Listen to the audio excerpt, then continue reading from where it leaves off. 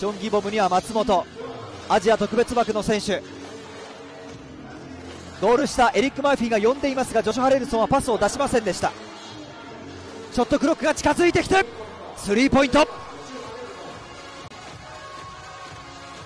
スリーポイントはリングに弾かれてジョン・ギボムから速攻になるのは福島。橋本が走り込んでいました。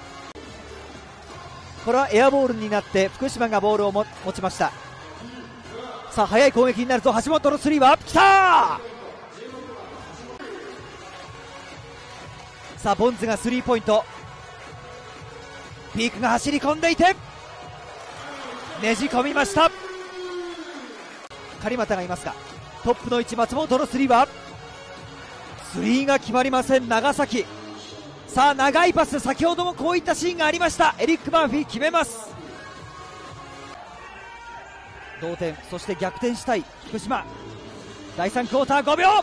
エチェニケゴールした長崎の選手と取り合うが。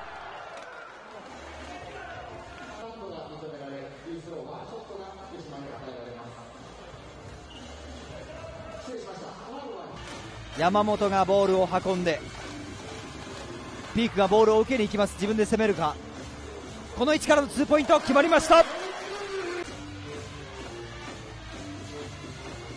ピークにぴったりとつく長谷川。さあスリーポイント。きた奪った長崎。さあギブスゴール下にはボンズが待っていますが誰にパスを出すか。ヘリングへスリーだ！スリーが決まった久しぶりのスリーポイントジョーダン・ヘリング。このシーンヘリングが今日初めてのスリーポイント。まだ逆転の可能性は十分にあるが奪った長崎イージーバスケット。ギブスのダンク。長谷川のスリーは。来ませんボールを奪った長崎。松本ドライブ自ら行くか決まりました。ボンズボールを回す長崎。ゴール下走り込んでいる。ギブスヘリングへ。